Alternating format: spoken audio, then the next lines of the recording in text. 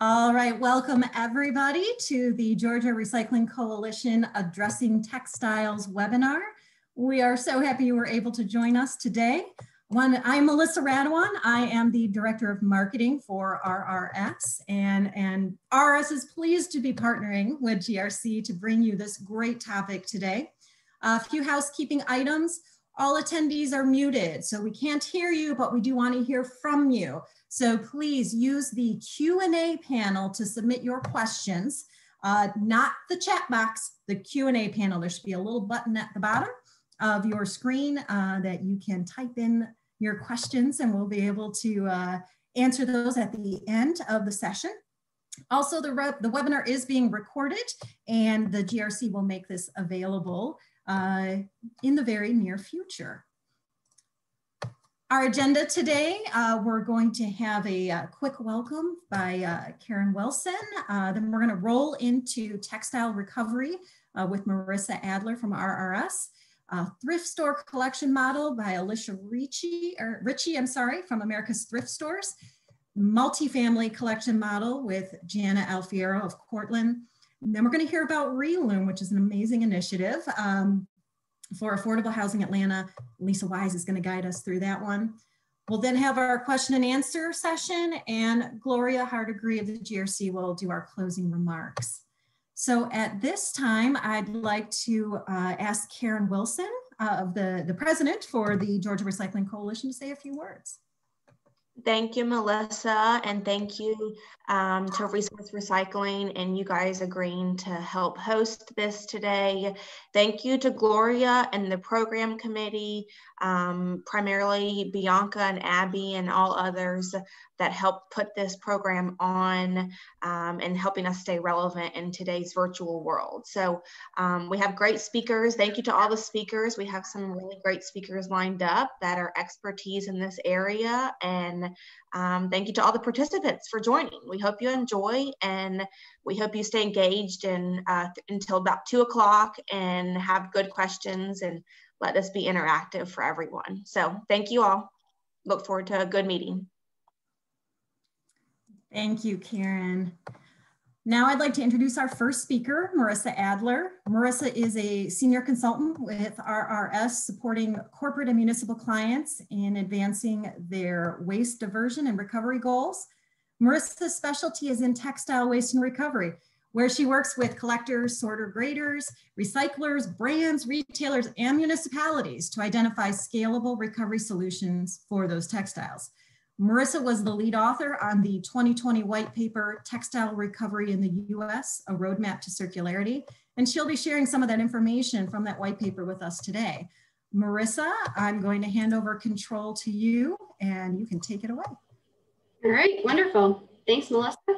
Great to be here today. Thank you to the GRC for hosting this webinar. So I'm going to be talking a little bit about textile waste and recovery in the United States, some of the scene setting um, information behind where we are with textile waste generation and collection. And then I'm gonna talk a little bit about, sorry, trying to advance my slide. Okay, there we go. That, whoop, went too far. Then I'm gonna talk about how we can transition to a circular economy for textiles. And I'll talk about a few things that are action items that everyone can start on today, tomorrow, to start advancing towards that future circle, circular economy state. We started looking at textile waste um, as a company about four and a half years ago. And one of the statistics that really struck us the most was looking at the US EPA facts and figures data for how textile waste has grown over the past 20 or so years. And this chart, you can see at the very top that textiles have far outpaced the growth of any other major category of waste in our waste stream. Textile waste increased 78% since 2000 um, on an absolute tonnage basis, while the entire waste stream as a whole only grew 10%. And on a per capita basis, textile waste increased 54%, um, as compared to a 5% decrease as a, as a whole entire waste stream. So it's growing so, so much faster than any other part of the waste stream. And that's a big issue, especially because it's such an environmentally and um, you know human um, intensive uh, supply chain. Even, okay. Sorry about that, having mouse control issues. Melissa, maybe if I put control back to you and you can just advance for me. All right, great, thank you. So this is showing a general uh, composition of the US waste stream as a whole. And one of the things I wanted to point out is that textiles is not an insignificant portion of the pie. It's just over 6%.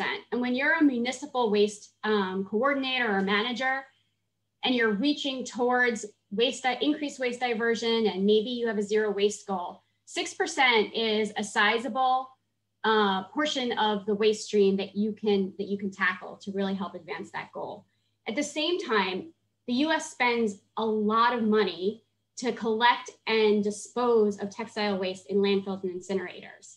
In 2020, we modeled uh, an expenditure of about $4 billion alone just on the textile portion of the waste stream. And so there's a lot we can do to offset those costs and uh, valorize some of the material itself. Okay, next slide. Right now, only 15% of the waste that we generate in the United States is recovered for any kind of uh, beneficial reuse.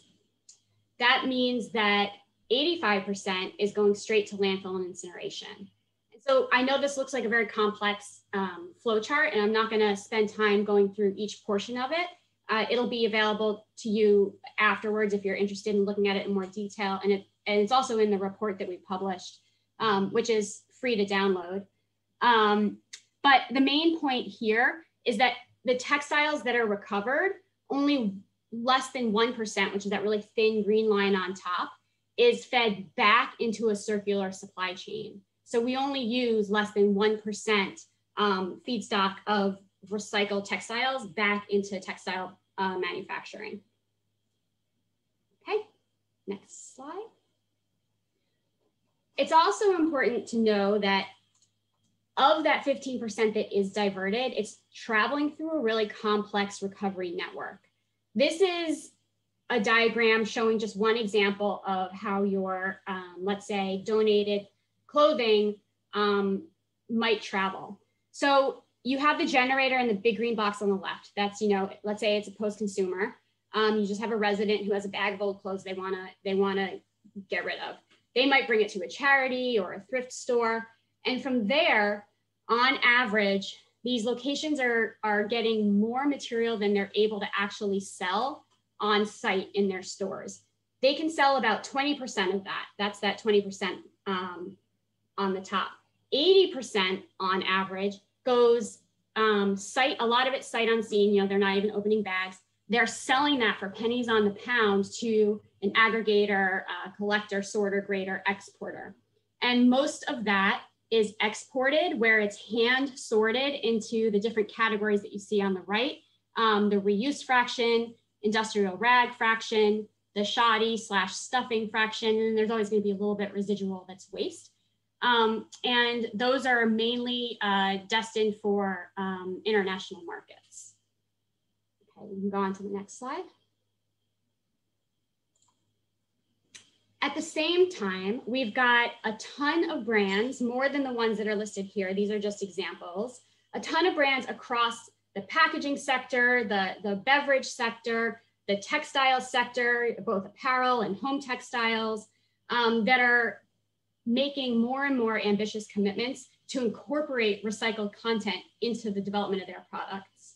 And this is showing specifically commitments to RPET um, or recycled PET. And right now, the majority of recycled PET that's on the market is coming from our used beverage uh, plastic bottles. But there's not enough supply of those bottles in the US to meet this growing demand. We'd have to collect over 80% of all the, the plastic bottles in the US just to meet these near-term goals um, for, for these uh, brands that are being shown. And don't forget that the current recycling rate for bottles is 29% and recycling is 30 years old. And so to reach that 80% threshold is a real challenge. So what are, what are we doing about it? We're thinking about what are some new sources of um, PET that we can unlock. And one of the really attractive sources of that PET is the polyester in textiles. Okay, you can go on to the next slide. There are, when you're thinking about how we're gonna get textiles back into our circular supply chain, there are sort of these six components of the recovery value chain that you have to look at and make sure you have um, you know, strategies in place for. The first thing is collection. You're not going to be able to um, supply those RPET commitments or, or circulate textiles back into manufacturing unless you can collect the textile waste that's being generated. So you need widespread convenient collection systems, something that's as convenient as throwing something away if you really want to increase uh, and reach those high participation rates.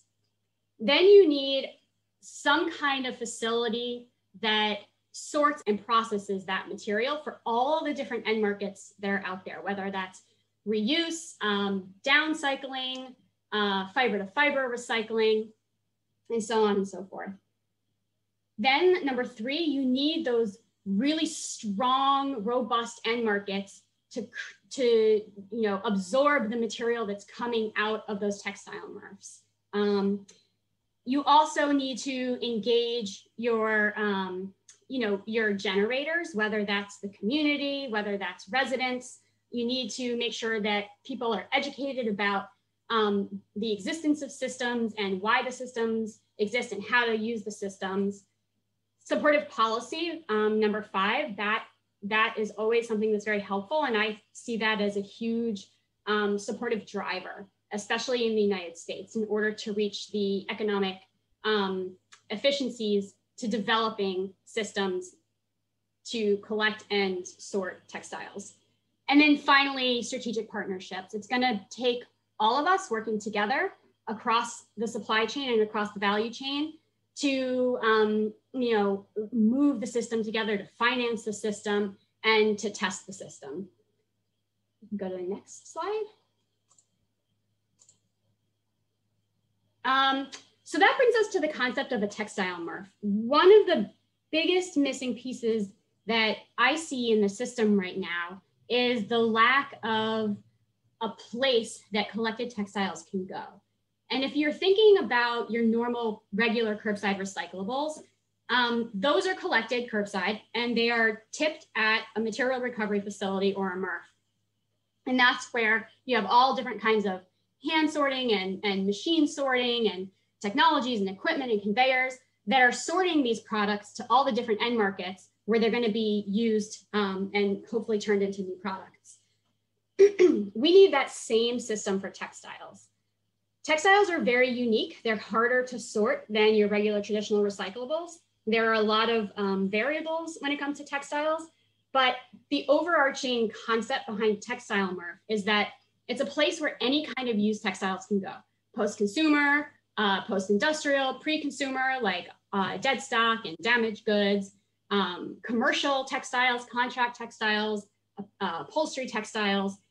It can all go there. It would go through a system of hand and manual sorting first, so you can categorize all the materials by quality um, and all the different grades of reuse that there are.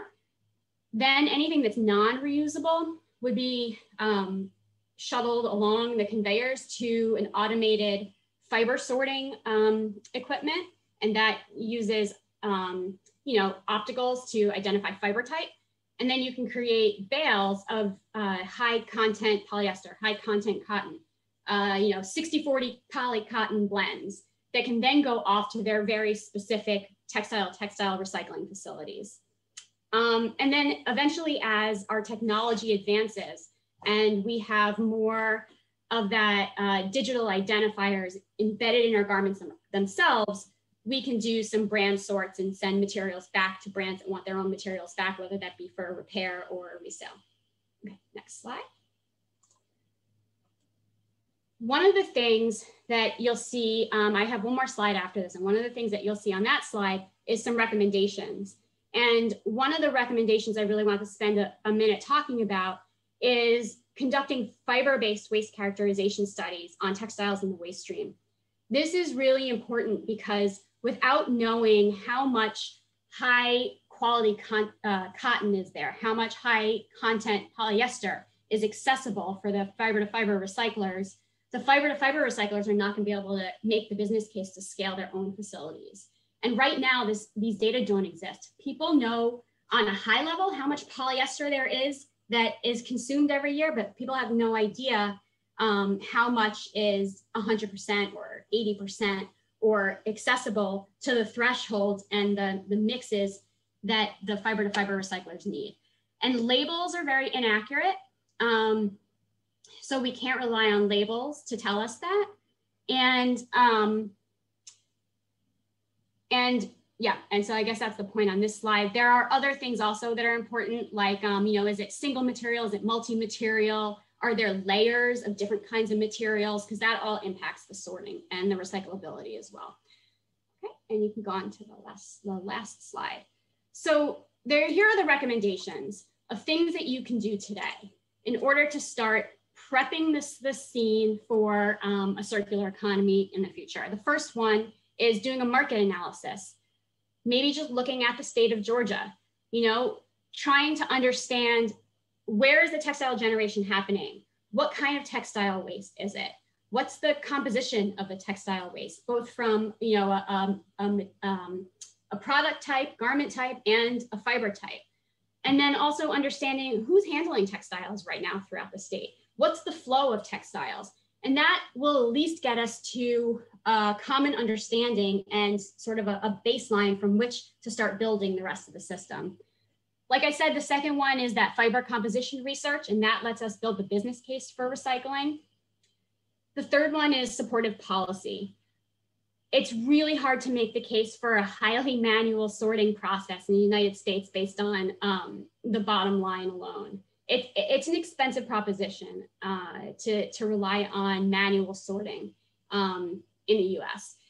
But with um, supportive policy, and, and, supportive policy can take many different forms. It can take, you know, the form of EPR or tax incentives or, you know, recycled content, minimum recycled content mandates. There are a lot of ways to develop supportive policy for a circular textiles economy but that will set the scene and level the playing field for uh, the different players. It could unlock a lot of investment, both in the R&D, in the infrastructure, and in the operations, um, and in that sort of supply-demand relationship.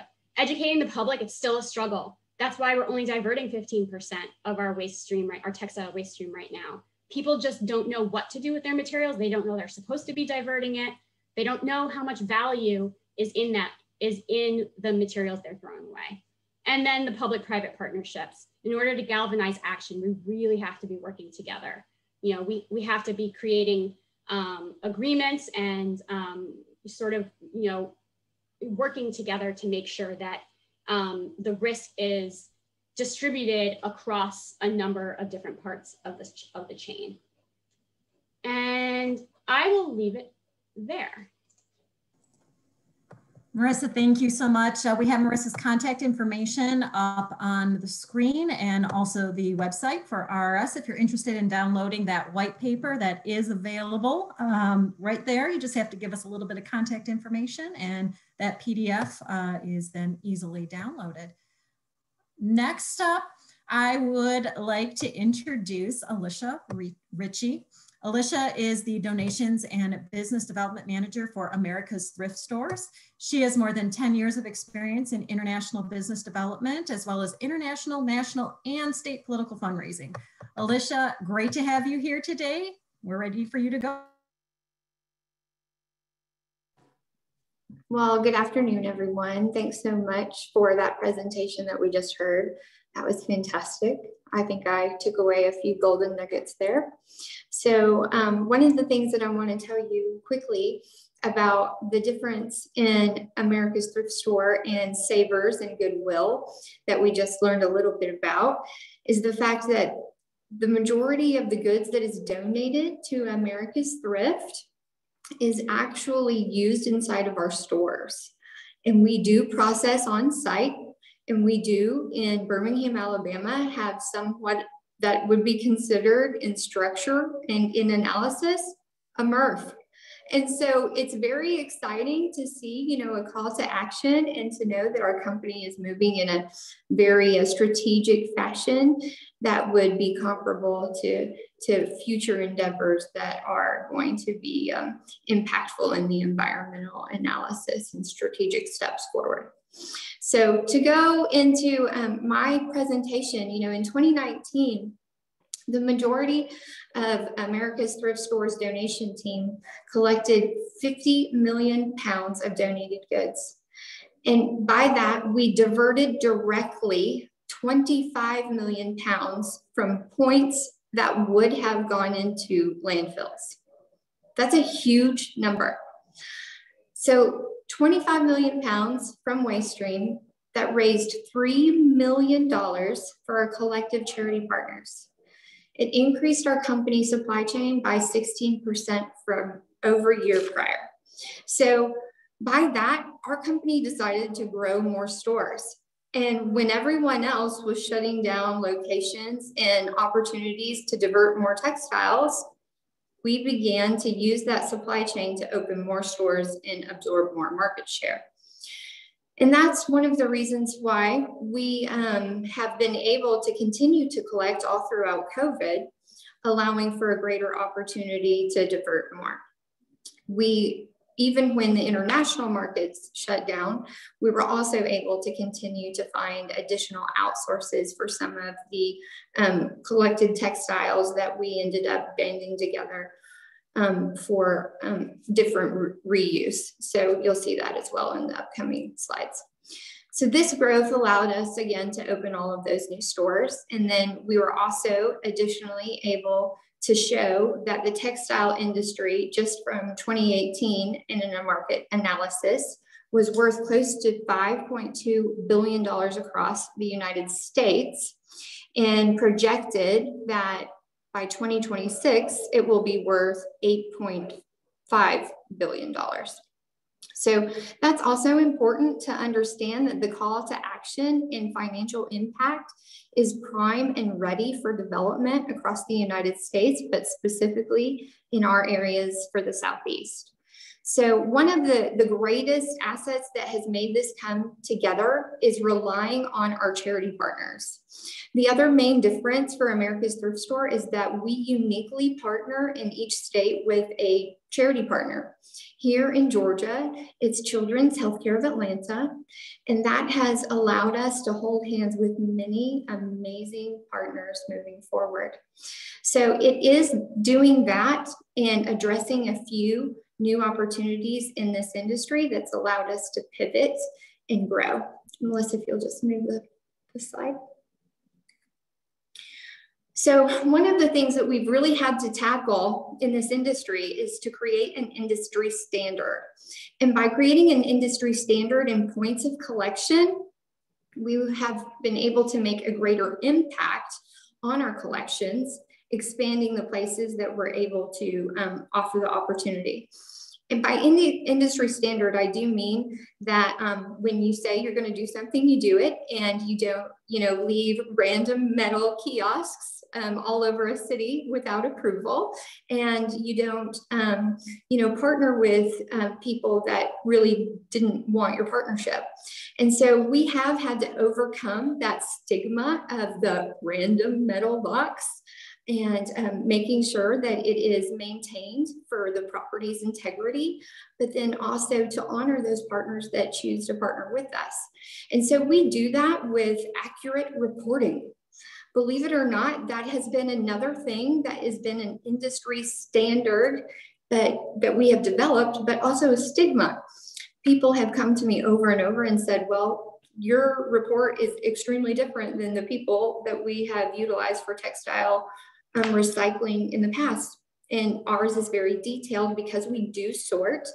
Ours is also very um, intricate in weighing and reporting on a monthly as well as a quarterly and annual basis. So then if you'll go to the next slide for me, Melissa. After doing additional market research, we utilized a company, New South Research, based out of Birmingham, that allowed us to understand why do people actually want to donate? Truly defining the need to divert textiles was something that our CEO took very personally. And being, being able to look at what was the motivational factor for that donation has been, you know, the analysis of how we approach our future logistical analysis and improvement process in the future. So from this slide, you'll see that, you know, almost the exact same report is for what people want as either a donor or a customer. So if they're coming to our store and they want to donate, or if they're just a random donor at another point of opportunity, then it's the exact same, you know, reason. The first one is because of the charity, and then with almost the exact same ratio of response, we saw it was because of convenience. Melissa, if you'll go to the next slide. So convenience was really broken down by our existing um, ATS customers and our ATS donors. And we found that by moving all of our bins to locations where it would be optimal to capitalize on convenience for the largest amount of population, that then we would be able to grow more with less. And that's impactful, especially for a community that wants to reduce, you know, their carbon footprint for a community that is trying to reduce the cost of collections, that is trying to recycle more, but by able to offer a third party customer for these recycled goods at the exact same time while sorting in our own facilities. So move to the next slide. So you can see at the, at the beginning of the 2017 initiative, we only had 253 bins.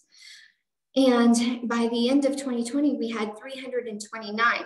Now, what is relevant about this is that each bin actually only produces close to 6,000 pounds annually. And by utilizing that method of convenience and partnering strategically with amazing partners, we have been able to maximize our collections of textiles, increasing the diversion. So if you'll move to the next slide. This also was impactful because it was the ability to donate to Children's Healthcare of Atlanta.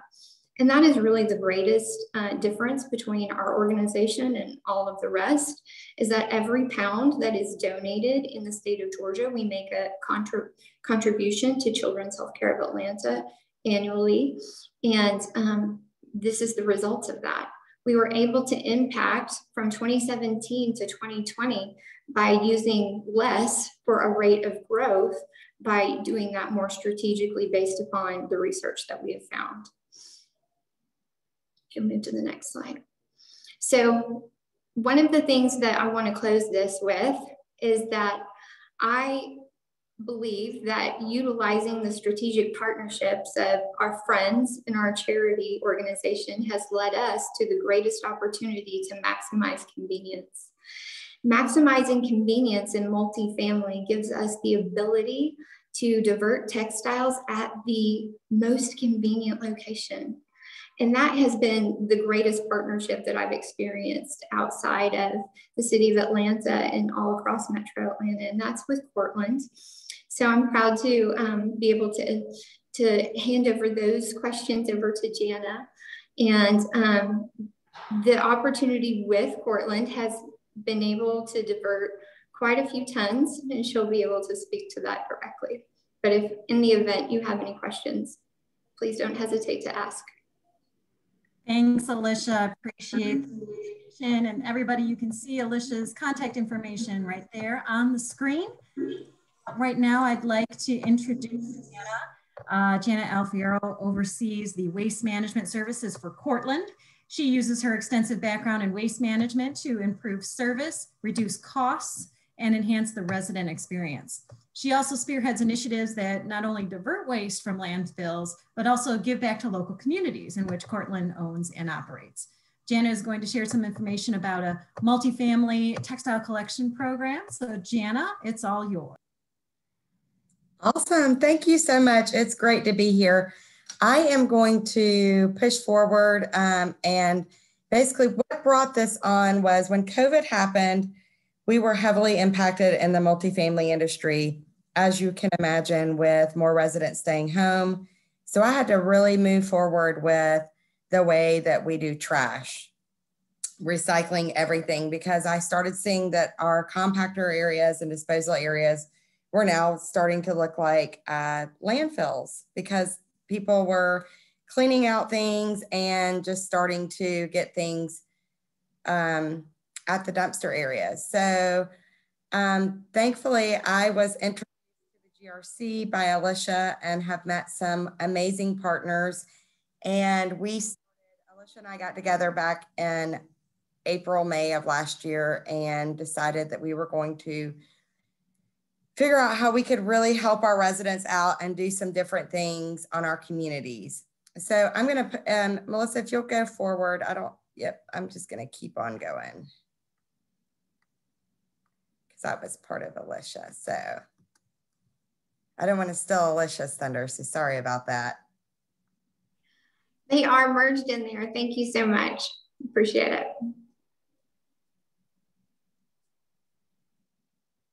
Keep on going. Okay. So we'll start off with Cortland, which I guess I should have started with that. We are a multifamily investment management firm. Um, we're one of the largest that own and manage in the US.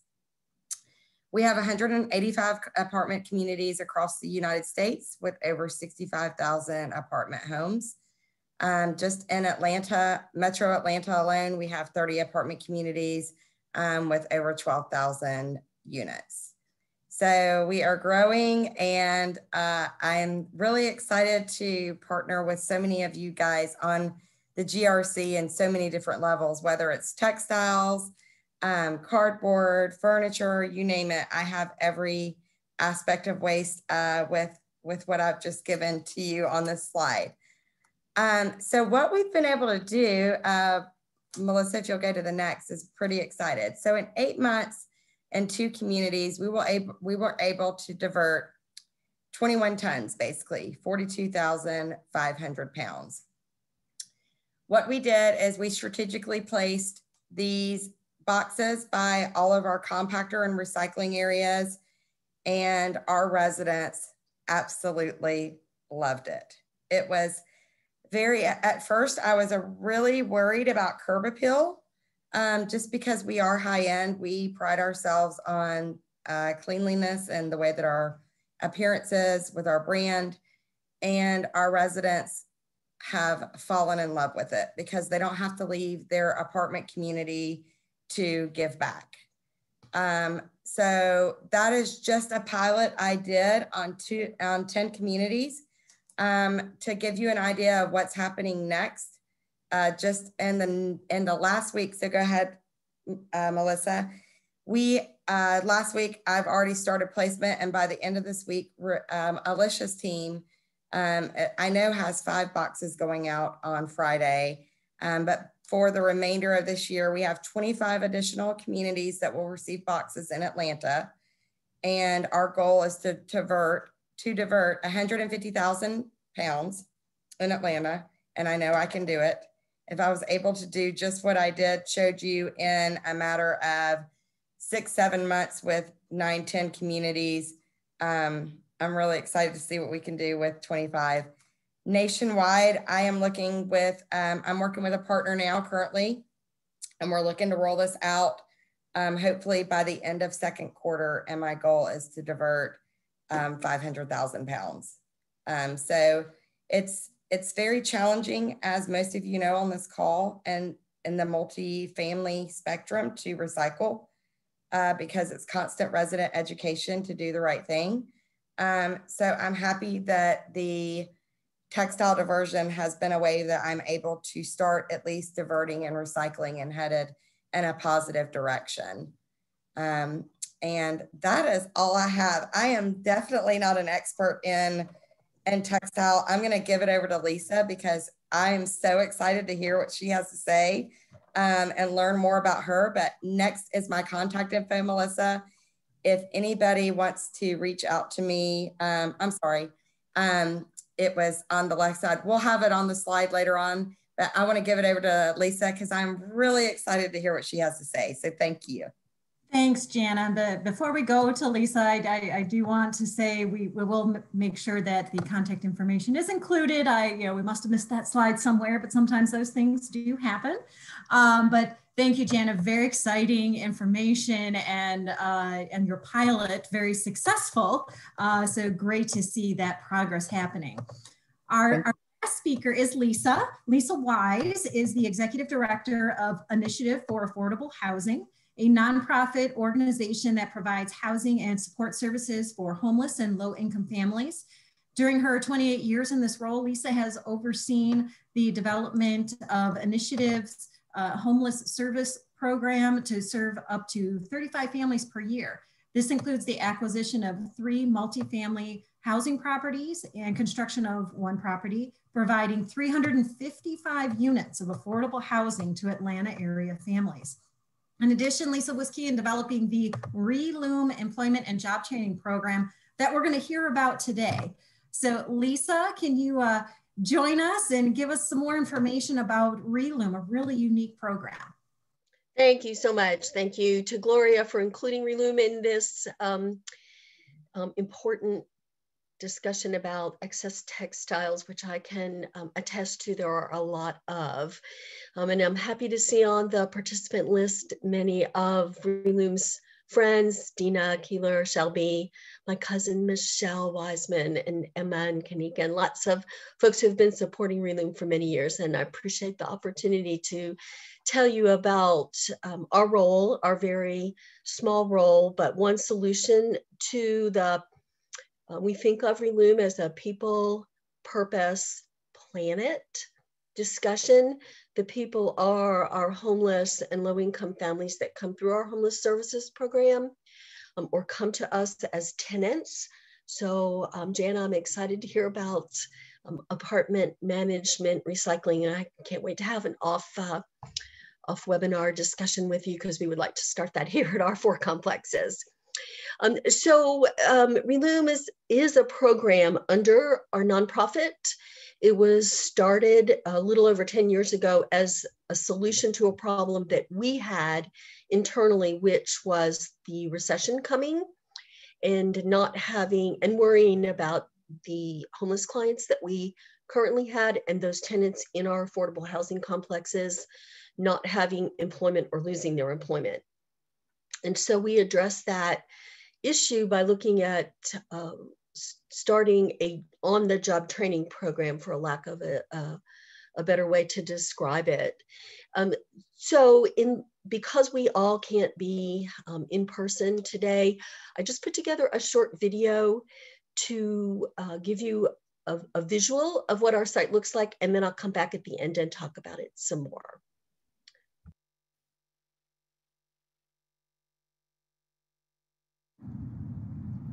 Welcome to Reloom.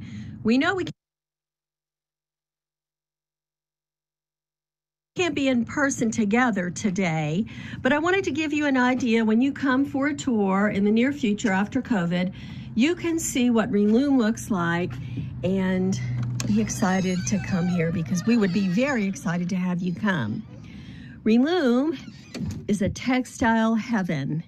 We are the lucky beneficiary of lots of beautiful donated fabric and textiles that we cut up and upcycle into all kinds of product. Reloom is a low barrier employment location for homeless and low income individuals that we employ full time with benefits so that they can get back on their feet again and um, become uh, more productive members of our society to take care of their children and move on. We are here with our manager, Tammy Carden, who's going to show us how to cut some of the fabric. And as she's cutting and I'm describing, we'll talk a little bit about the fabric that comes to us. Tammy's got a pair of pants from one of our corporate partners, UPS. They have a buyback arrangement with us where they give us product of the old uniforms that are being um, changed into new uniforms. So we cut off all of the brand for any corporate partners. And uh, Tammy has a leg of a pant that she's going to cut in a certain way that will make it easier for the weavers to weave with. So we uh, fold the fabric. Usually uh, volunteers do all of this prep work for us because it is labor intensive. But during COVID, we um, we are ending up doing a lot of the prep work ourselves. When we get fabric, um, just uh, fabric left over from sewers or um, quilters, it's easier to cut. But when you get a piece of clothing that can't be used for a variety of reasons, we take it all apart, cut off all of the collars and the buttons. So here we have what we refer to as a hula, which is the fabric cut up because we're going to turn it into the longest piece of fabric that we can. And it will end up being cut at every other piece and then eventually it will be one long uh, ball of fabric that we end up, the weavers give to the weavers as they prepare their product. So this is uh, one op an, opportunity for volunteers. If you uh, your company is interested in volunteering as soon as COVID is over, we would love to have you come here and help us prepare the fabric, and it will end up in this long ball that as you as we go through the Reloom worksite, you will be able to see all of the different things that we can upcycle into beautiful product. Um, we take all kinds of fabric. Um, it needs to be clean, even if it's got stains or uh, cuts in it. But we do um, ask that our donors bring things to us that are clean. Um, we have a building here in the uh, northeast side of DeKalb County and, and right at the edge of Scottdale and Clarkston. So we are easily accessible and we have been in operation for 10 years. And coming down through the break room area, we're a small site, but we make the most of our space. For those of you who know how to weave, you know that there's the warp thread, the stabilizing thread, which um, is rug strength that we buy from a mill in Auburn, Alabama. And then the weft fabric for us is the donated recycled clothing that um, we cut up, our volunteers cut up, and we make beautiful things out of. So here is the prep area so that when the weavers want to plan their project, they can come here and take whatever it is they want um, color-wise and fabric-wise to make their product. As we come down into the studio section, you can see that we have a room full of amazing looms that have been donated to us through um, very generous volunteers through the years. Reloom does all its own prep work. We do all of our own quality assurance, sewing, preparation of the looms. We've taught folks how to put the looms together and how to wind the warp so that everything is ready when they sit down to weave. We are trying to be the most efficient, so each loom will have 60 yards of thread on it at one time. The UPS brown fabric, one of our uh, many corporate clients like Delta and Emory, the Atlanta Track Club, we've used all of their fabric to make things. But the, the uh, brown fabric that came from UPS, Miriam is weaving with. Let's get a, a, view from here. It's usually pretty noisy in here, so we're trying to keep the noise down from where she's weaving. So the fabric that she's weaving is a half inch wide, half inch. And she's making a, uh, either a dog leash or a key chain. And you can make something as wide, uh, as big as you want, depending on the width of it. So what she's working on now is just something that's not very wide. And it will end up, it will end up either being uh, a keychain like this, or a dog leash, thanks Tammy, it will end up being a dog leash, uh, a 60 inch dog leash. As we go through, thanks Miriam, as we go through the reloom site, you can see we have big looms and we have smaller looms. The looms all have the names of the donors on them because looms have um, quite the history in our society and we want to honor the donor who has given them to us. Um, we have our own store here at the Reloom Worksite, and we hope you will be able to visit and think of um, our product as you think of ideas for gifts that you might like to give to someone. Um, we have two lines of product home decor, which would be the rugs, placemats, table runners, uh, pillows, um, any item that you would use in your home. Um, and then we have uh, accessories, which would be bags of all kinds, the smaller items like the mug rugs and the keychains, bike cuffs made from Delta Airlines safety vest, um, any dog leashes, any kind of dog product, um, really anything, anything that can be um, handmade, we're trying to make it. Everything is machine washable because it is all out of recycled fabric, but it has taken on a new and more beautiful life by being upcycled, as well as providing uh, long-term employment or short-term, depending on what our employees want to do as they uh, prepare to move forward. So we're excited about this opportunity and look forward to telling you a little bit more about what we're doing um, on the Zoom camera. But I hope you'll be able to visit Reloom real soon. Thank you. Thanks. I hope that that was a, a Reloom. I hope that was a visual uh, so that you could kind of see what a small site we have. We are one solution, um, really, but we're driven by addressing some of the equity and um, problems of employment or lack of job skills, um, really looking at some equity issues in our community, helping folks um, address some of those employment and education problems, especially around the affordable housing and having a sustainable income. Um, our way uh, of thinking about that is really to provide them with not just the hard skill of the weaving, which is a very linear process and complicated, but also the soft skills that will help our employees move on to the next job in the community, regardless of what jobs they had before or lack of jobs that they had before. This is a way to practice in a, uh, a secure environment, although there are plenty of um, job employment issues that they're going to have to address with the manager. But this is just an opportunity for us to give them uh, secure income and health benefits. For many of our employees, they never did have um, health insurance before. And so there's a learning curve on how to help our folks move to the next level.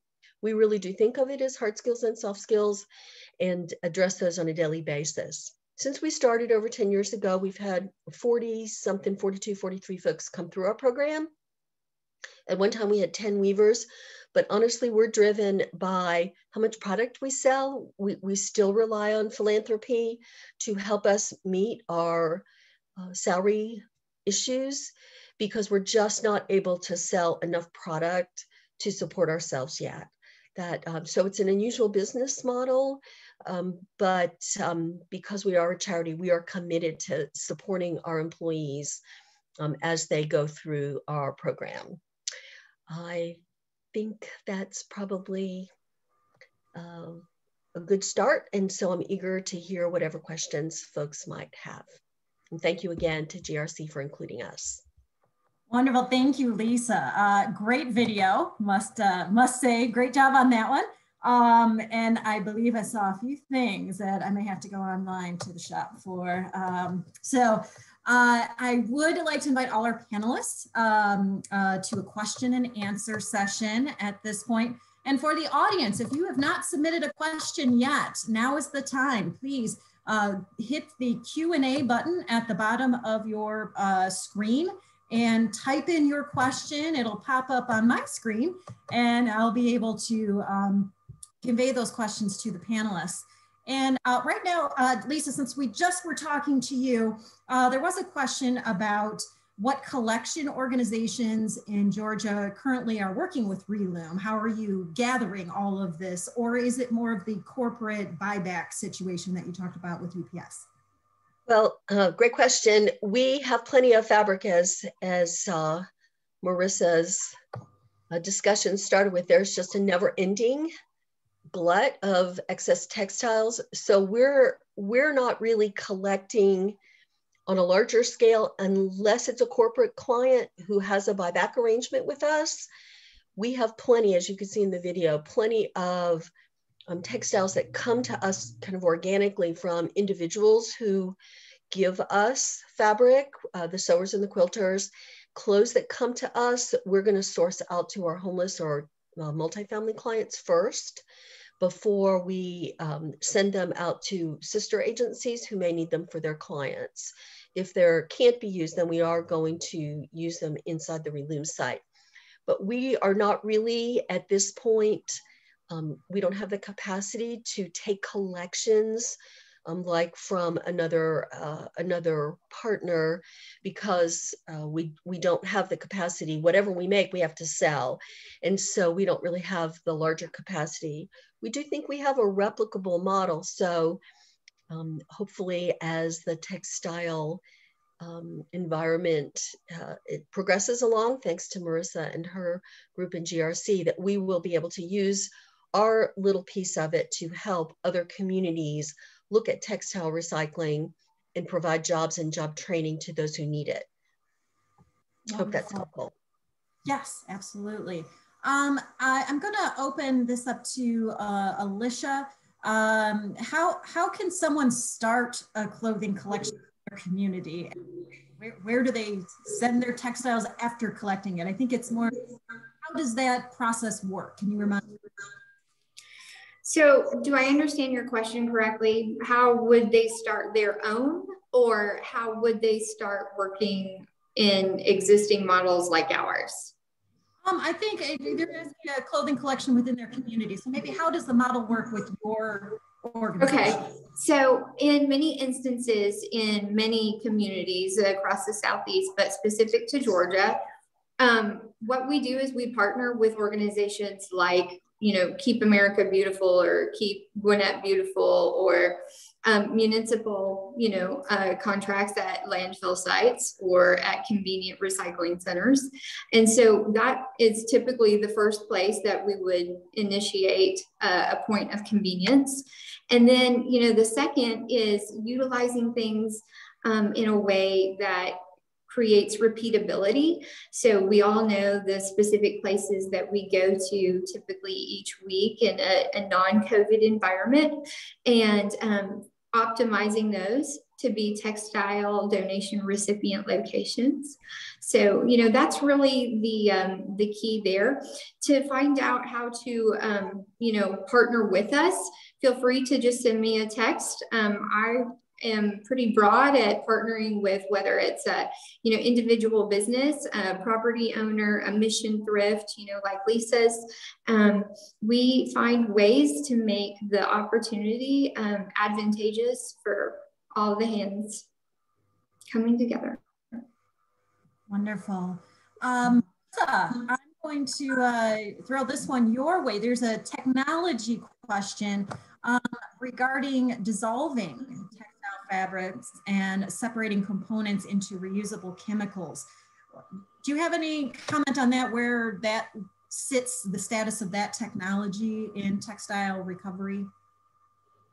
Yeah, there it's a, an emerging field. There are uh, several companies that have developed technologies and several other com companies that are in the process of developing technologies that can do that material to material or textile to textile recycling.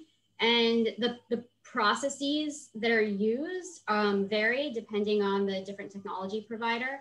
Um, but some of them are, um, you know, uh, enzymatic dissolution or other types of dissolution where you're dissolving the cellulosic portion. Um, and then you can um, recover uh, the cellulosic portion out of that and, and spin it back into a yarn um, or, or a fiber or a thread. There's also um, technologies that allow you to recover polyester um, and nylon. And so, you know, they're at a stage of development right now where they have, um, you know, it, it, spans a range. Some of them are um, still in development stage. Some of them have, um, you know, completed lab stage. Some of them have completed demonstration and pilot stage and, and are in the process of commercializing. Um, however, in order for them to commercialize, they need a steady supply, steady, reliable supply of feedstock that meets their input specifications um, at a cost that um, you know, covers the operational um, part of their of their uh, business and the, and the actual processing of the material for sale to end markets. So um, I think that gives a pretty good overview. Yeah, yeah. Thank you, Marissa. Um, Jana, I wanted to ask you what, I mean, we're all familiar with multifamily properties, right? But what made your group decide to take on textiles? What, what was there a demand from your residents? Was it something that was a corporate goal? What, what drove you guys to, to partner up with America's Thrift Stores? It was when uh, seeing residents not being able to leave their homes and generating more trash by uh, not by people staying at home 24 7. Um, you know, we went from people went to work and then came home, did their social things, and then slept and then went to work again. Now it's people are home um, all the time. So I had to figure out our, my waste costs were going up and going up. And um, I had to figure out a way to try to drive that cost down.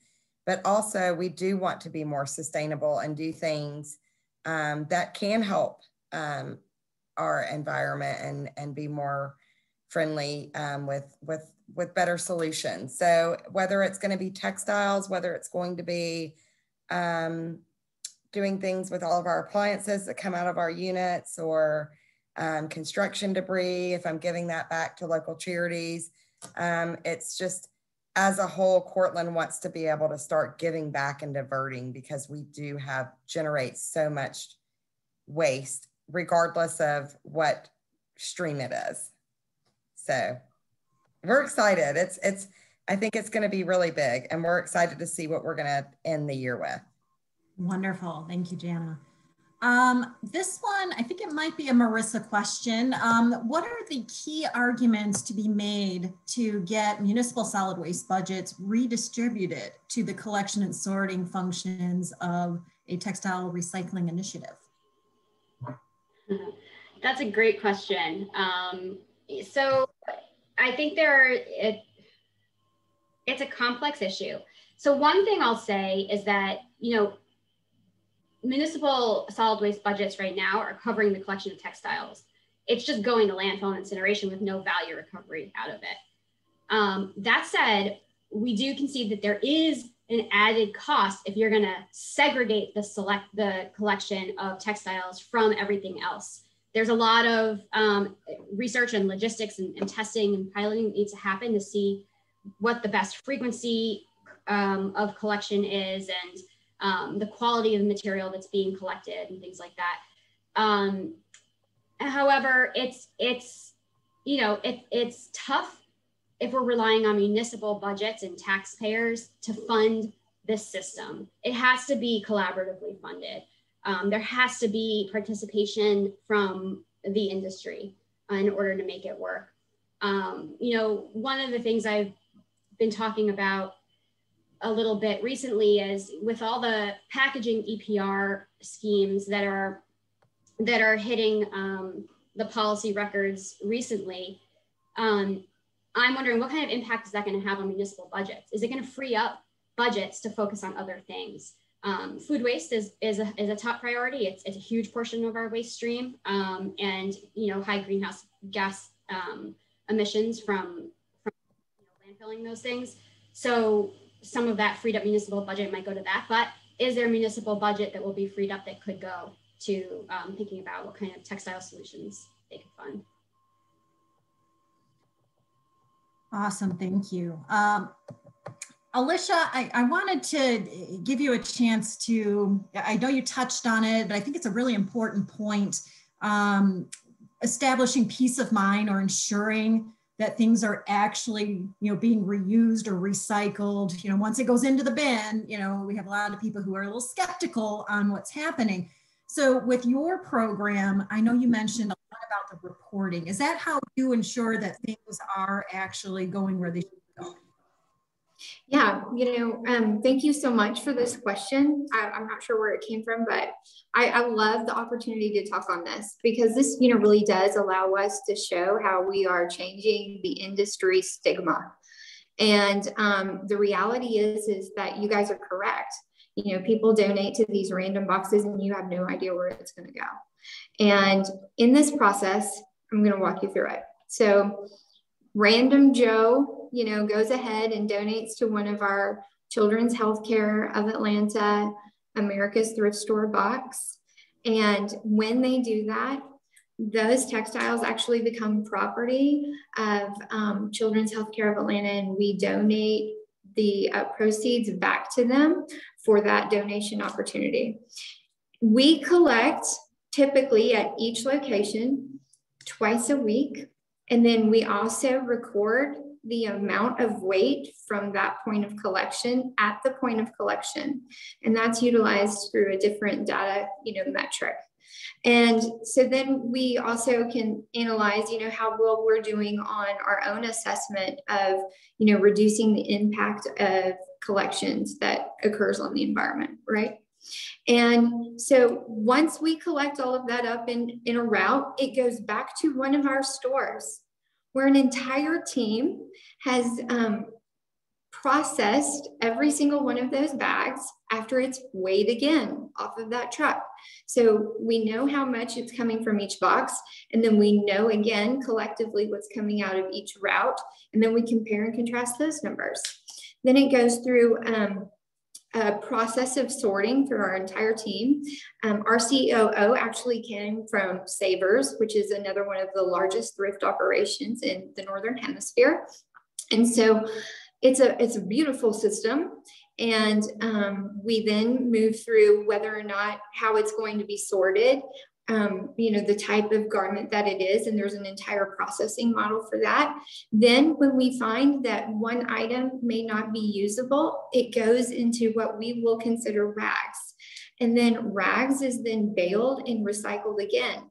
Because of COVID, we have really driven our capability to find additional opportunities here for recycling here in the United States.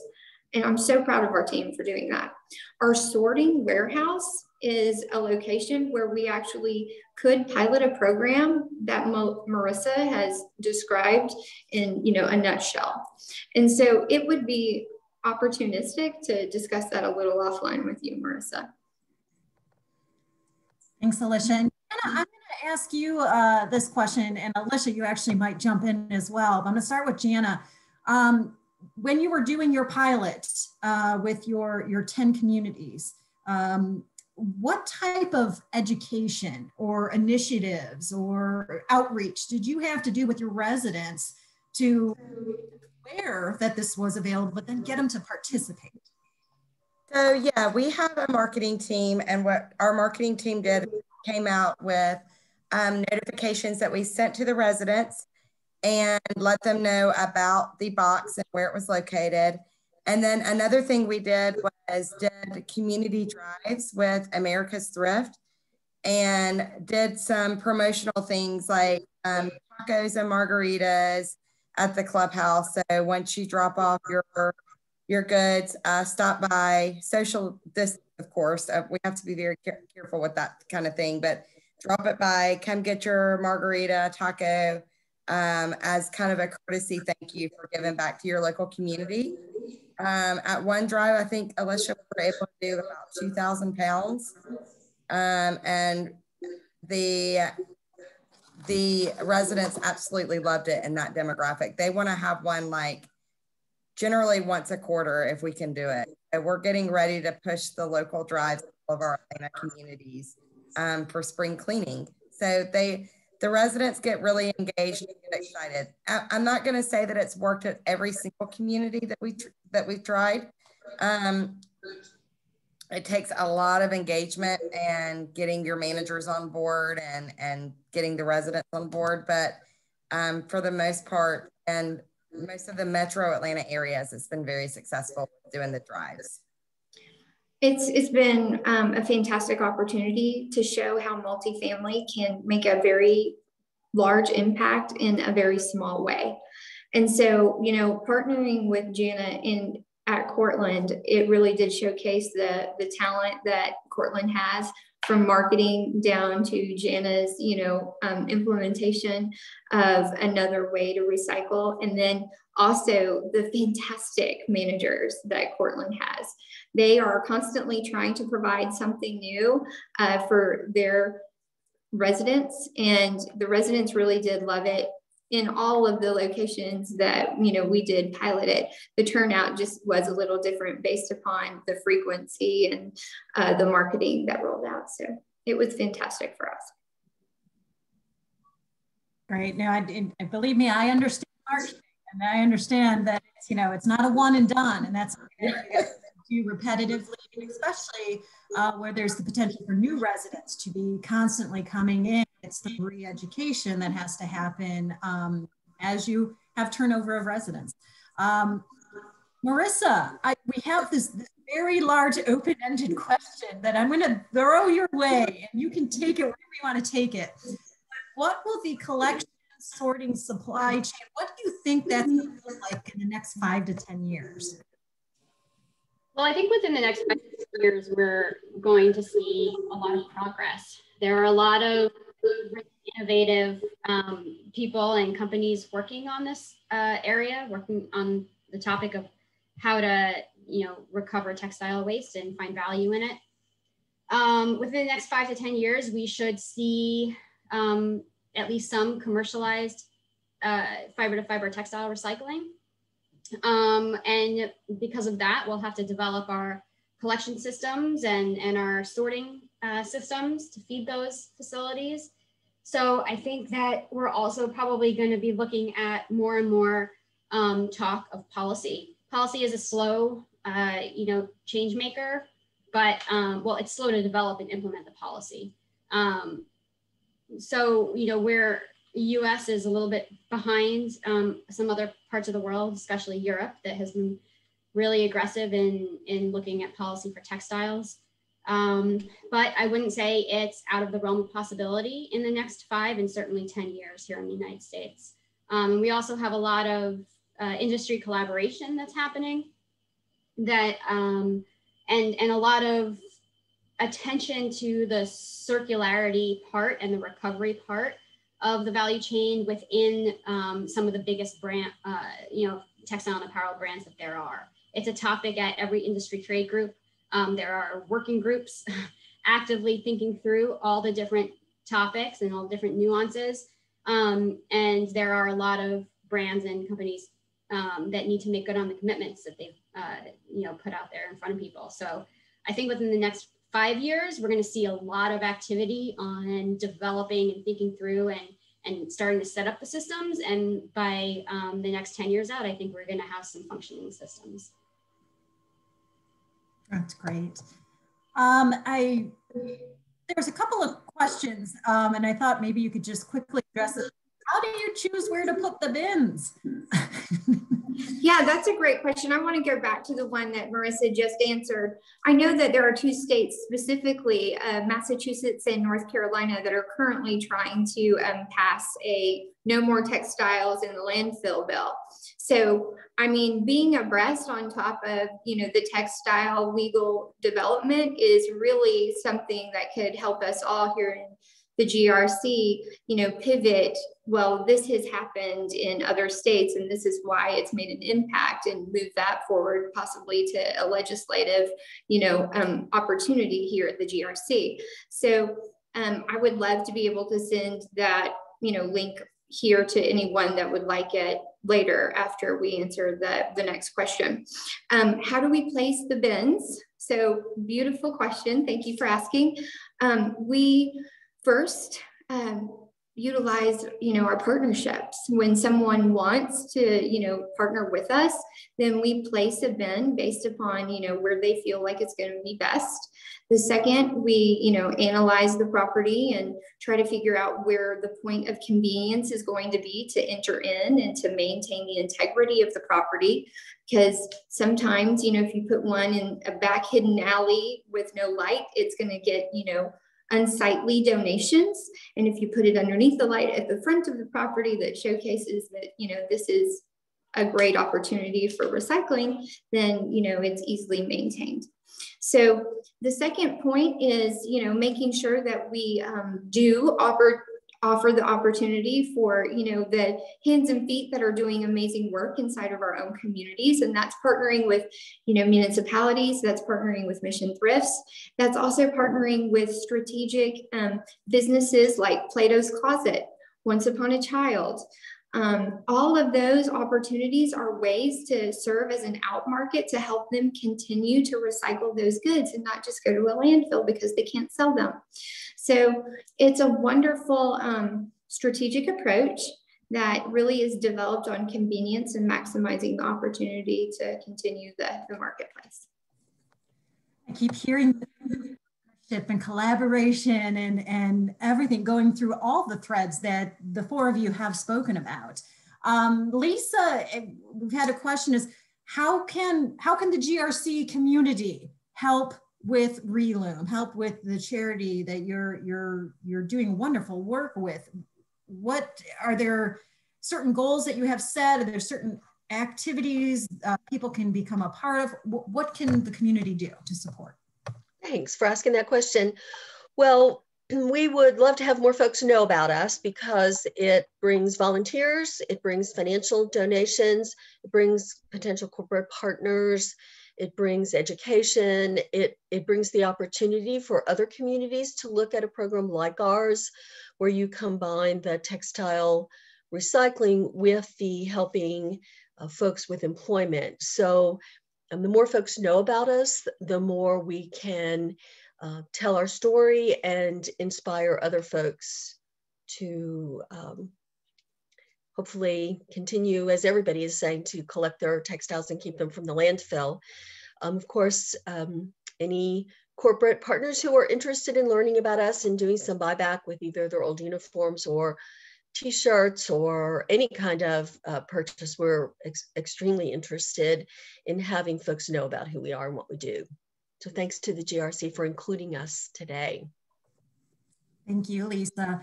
Uh, Alicia, I'm going to give you a, a, minute or so and it's your final thoughts or last uh, impactful, inspiring words you want to give our audience.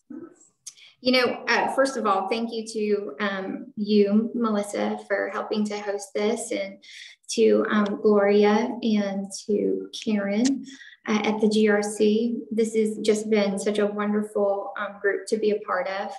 Um, when it comes to the collection and the method that we use over at America's Thrift, we're always, um, you know, open doors to walk anyone around to see our process, and we would love to invite you um, to do that.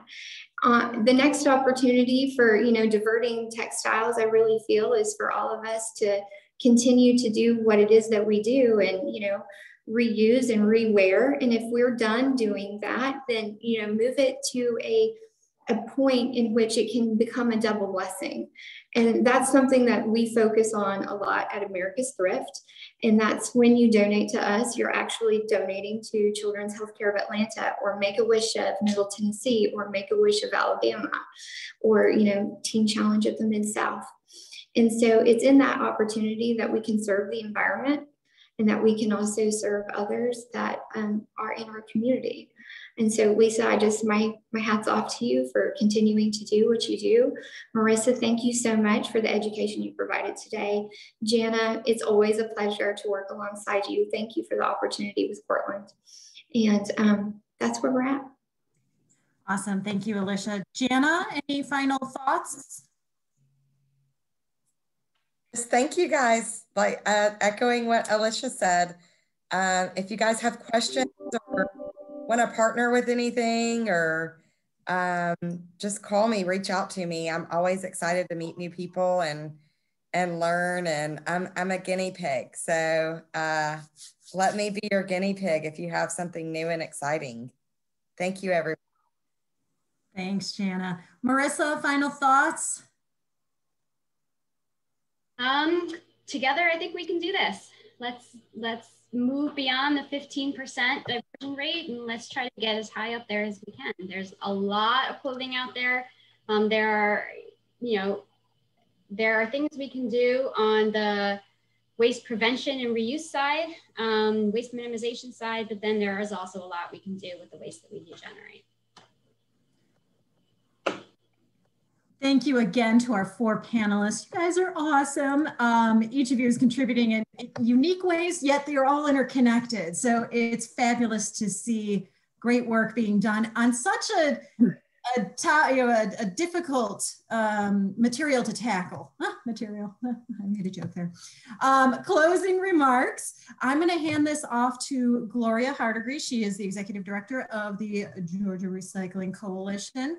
Uh, Gloria, you want to go ahead and say a few last words? Hi, everyone. Thanks for joining us today. I don't know about you, but this made me want to clean out my closet this weekend. So I'm looking forward to that as a, a little project uh, to contribute to the cause. But I, we hope at least that this has opened up your thought process into looking into how you might um, look into textile recycling, textile reuse as an opportunity to improve your programs. Um, I want to first and foremost thank RRS, uh, Marissa and Melissa for their participation and for hosting us today and for the knowledge they have brought through their white paper. Uh, obviously, our speakers, please reach out to them. This is an awesome, awesome panel of women. And I know that they're out there and ready to um, talk to you some more about what they're doing. Uh, I want to thank our program committee and our board of directors. Abby Patterson, Bianca Workentine are our co-chairs of our program committee, thank you for your input. And obviously we wanna always acknowledge our sponsors. Um, these are our partner level sponsors who support all of our programs and projects during the years. And on the next slide, um, Melissa, we have also thanking our sustainer and patron level partners. We've been so happy um, even during these difficult times to grow our patron level sponsor um, by four. And in fact, in this year, we're very excited to see that grow. And then the next slide, we hope you'll stay tuned for more programming. We made a decision back in the fall to do a webinar series that was not just about traditional materials. So our fall winter webinar series started with organics in December. We did this textile one and we look forward to March talking about e-scrap and addressing obviously that problematic lithium ion battery scenario that we're we've all heard about and some of us are dealing with negative impacts from that. Uh, our next train, our next major training session will be our semi-annual training meeting in April. Stay tuned for details about that. And it's not on the slide, but we'll I will mention that we are looking at fingers crossed a potential late October, perhaps maybe kind of, sort of, hopefully live conference. We'll see how that all pans out. Uh, the board and the program committee will be working on that in the next few months to see how we can pull that off. Um, if that doesn't happen for whatever reason, we'll get back to you with, with, with plan B, but we hope that will be the outcome. Um, so with that said, make sure to check our website and obviously please check out our Recycle Right Georgia campaign. Uh, we started, we launched this in November um, it's gotten very good um, traction, and we still have a long ways to go with all types of content for this year. We will be um, rolling out the video for, well, we rolled out the glass video last week. We'll be rolling out the video for uh, aluminum cans, hopefully this week or next week, and then the paper one the following week. So, still a lot of content to come that's new uh, and engaging for you and your communities. And if you're a city, county, or a uh, municipality, we hope that you also participate in the Municipal Measurement Program, the MMP, uh, because we need data in order for us to go back to potential grantors um, to put together more campaigns like the Recycle Right Georgia campaign, we have to have metrics. So we hope that you will participate in that and let us know as members what we can do to assist you in your programs. Thanks for joining us today.